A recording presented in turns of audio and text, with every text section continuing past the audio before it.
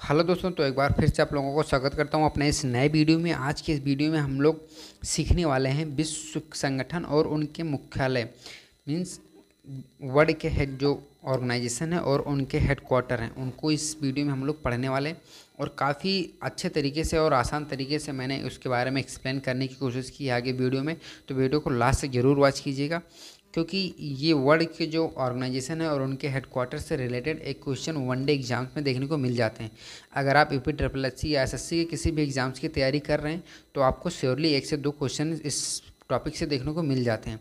तो आप इस टॉपिक को भी पढ़ के रखिएगा और याद रखिएगा। तो चलिए वीडियो को स्टार्ट करते हैं, लेकिन उससे पहले अगर आपने अभी चैनल को सब्सक्राइब नहीं किया तो प्लीज़ चैनल को सब्सक्राइब कर लेना और वीडियो को लाइक कर देना। और हाँ अगर आप इसका पीडीएफ अगर डाउनलोड करना चाहते हैं तो आपको हमारे Telegram group by searching Umesh Raj technical hub, इससे ज्वाइन कर सकते हैं। तो चलिए वीडियो को स्टार्ट करते हैं।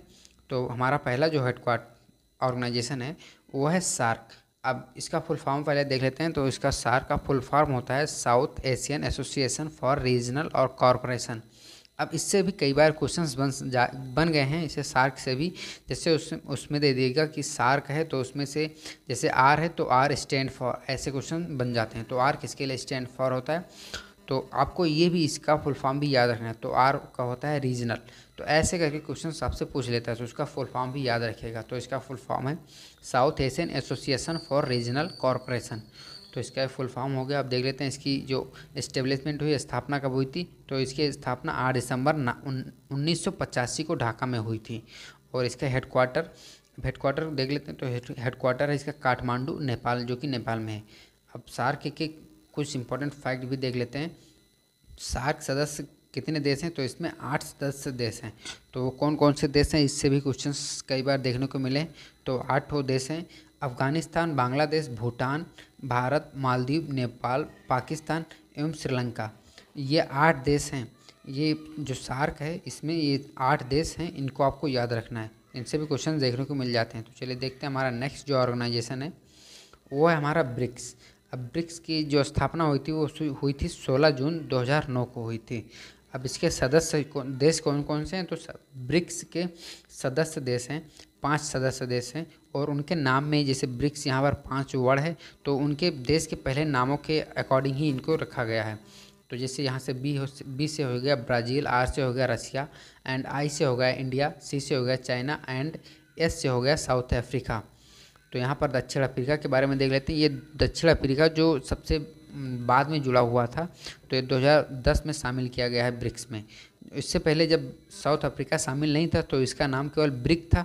जब साउथ अफ्रीका शामिल हो गया तो एस भी जुड़ गया ब्रिक में तो हो गया ब्रिक्स। तो ये फैक्ट भी आपको याद रखना है। अब देख लेते हैं, इसके बारे में एक और फैक्ट है।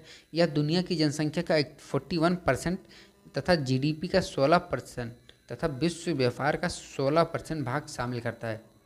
मतलब ये है कि कि इन पाँच देशों में ही पूरे विश्व की फोर्टी वन परसेंट पॉपुलेशन निवास करती है तो काफ़ी बड़ा ऑर्गेनाइजेशन हो सकता है। नेक्स्ट क्वेश्चन देख लेते हैं। नेक्स्ट क्वेश्चन हमारा ऑर्गेनाइजेशन जो है, वो है अंतर्राष्ट्रीय न्यायालय। तो इसकी स्थापना देख लेते हैं 1945 में हुई थी। ये कई बार पूछा गया है जबकि इसमें कार्य कब शुरू हुआ था? तो ये 1946 में इसमें कार्य मतलब इसका स्टार्ट हो गया था जबकि इस, इसकी स्थापना 1945 में ही हो गई थी। अब इसकी कुछ विशेषताएँ देख लेते हैं। यह संयुक्त राष्ट्र का प्रमुख न्यायिक अंग है। जो इसका जो हेडक्वार्टर है वो द हैग जो कि न्यूजीलैंड में है नीदरलैंड में है। द हैग इसका हेडक्वार्टर है तो और द हैग कहाँ नीदरलैंड में है? और नीदरलैंड के भी जो जिस बिल्डिंग में इसका न्यायालय है, उसका नाम है पीस पैलेस। ये भी क्वेश्चन देखने को मिल जाता है तो आप इसको भी याद रखिएगा। चलिए देख लेते हैं।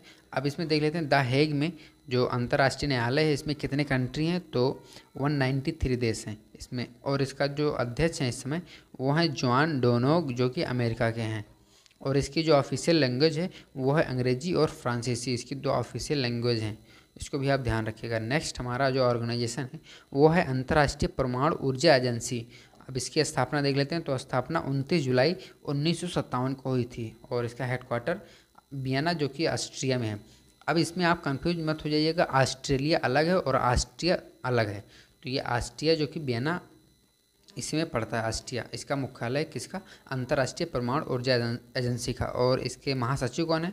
तो इसके महासचिव हैं मोहम्मद अल बरदई जो कि मिस्र के हैं और अध्यक्ष हैं युकीना अमानो। अब नेक्स्ट जो हमारा ऑर्गेनाइजेशन है, वो है वर्ल्ड बैंक अब विश्व बैंक का, के बारे में देख लेते हैं तो इसका स्थापना जो हुआ था 1944 में हुआ था। ये ब्रिटेन बुट्स ब्रिटेन बुट्स सम्मेलन के दौरान इसकी स्थापना की गई थी। इसका जो हेडक्वार्टर है, वो है वाशिंगटन डीसी जो कि यूएस में पड़ता है। और इसके मुख्य लोग देख लेते हैं कि डेविस मालपास जो कि प्रेजेंटेड हैं अंशुल कांत सी हैं इसके और पेन्नाई गोल्ड गोल्ड्स वर्क जो मुख्य अर्थशास्त्री हैं इस बैंक के। देख लेते हैं इसमें और इस, इसमें कितने देश हैं? तो इसमें एक सौ नवासी देश हैं।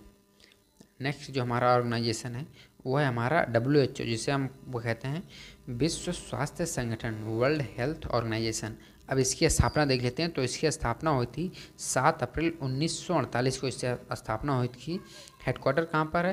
हेडक्वार्टर है जिनेवा, जो कि स्विट्जरलैंड में पड़ता है। सदस्य देश देख लेते हैं तो एक सौ चौरानबे प्लस दो संबंध देश हैं। एंड इसके मुख्य लोगों के बारे में पढ़ लेते हैं, थोड़ा सा ध्यान रखेंगे। मुख्य लोग हैं टोडस एंड एड हनामा तो इसके महानिदेशक हैं, जो कि ये इथोपिया से बिलोंग करते हैं। और देख लेते हैं, भारत की, भारत भी डब्ल्यू एच ओ का सदस्य और इसका भारतीय मुख्यालय भारत की राजधानी नई दिल्ली में स्थित है।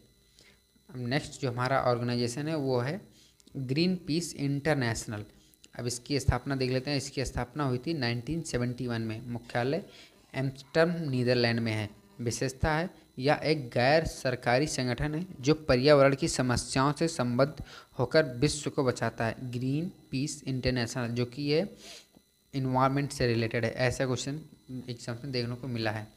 अब नेक्स्ट जो हमारा ऑर्गेनाइजेशन है, वह है बिमस्टेक अब इसकी स्थापना जो हुई थी 16 जून, इसकी स्थापना सॉरी इसकी स्थापना छः जून 1998 में हुई थी और इसका हेडक्वार्टर ढाका, जो कि बांग्लादेश में है। अब इसके सदस्य देश कौन कौन से वो देख लेते हैं। तो सदस्य इसमें सात देश हैं। कौन कौन से हैं? बांग्लादेश है, भारत है, म्यांमार है, श्रीलंका है, थाईलैंड है, भूटान है एंड नेपाल है।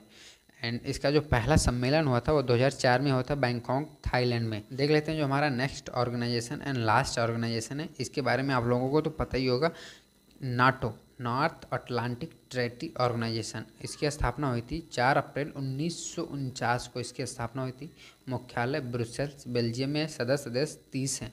और जो लास्ट देश जुड़ा है, वो है उत्तरी मेडासोनिया, मेसिडोनिया। उत्तरी मेसिडोनिया जो कि 2020 में जुड़ा था। तो ये कुछ इम्पोर्टेंट ऑर्गेनाइजेशन थे और उनके हेडक्वार्टर के बारे में, उनके कुछ फैक्ट के बारे में हमने अध्ययन किया। तो आई होप वीडियो आपको पसंद आई। वीडियो पसंद आए तो प्लीज़ चैनल को सब्सक्राइब करना और वीडियो को लाइक कर देना और अपने दोस्तों के साथ शेयर करना। तो इसी कड़ी में मिलते हैं नेक्स्ट वीडियो में। तब तक के लिए